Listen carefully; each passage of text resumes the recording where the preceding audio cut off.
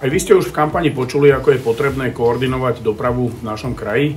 Tiež ste počuli sľuby, ako budú kandidáti zriadovať koordinačné centrá, ako budú riadiť dopravu. Netreba, pretože všetko je už hotové a funguje to.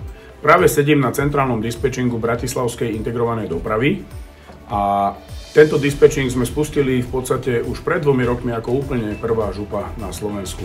Takže vôbec nie je pravda, že dispečing riadi iba prímestskú autobusovú dopravu.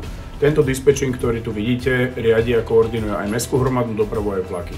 Sú tu dispečeri, je ich 7 a pracujú 24 hodín denne, 7 dní v týždni. Dohliadajú na viac ako 1500 povinných nadväzností prímeskej autobusovej dopravy na MHD a na vlaky. Takisto vypravujú posilové vozidlá a záložné vozidlá v prípade poruchy alebo nehody. Tento integrovaný systém verejnej hromadnej dopravy je dôležitý nástroj, ako pre vás všetkých zabezpečiť rýchlejší a pohodlnejší spôsob dopraviť sa z jedného miesta na druhé.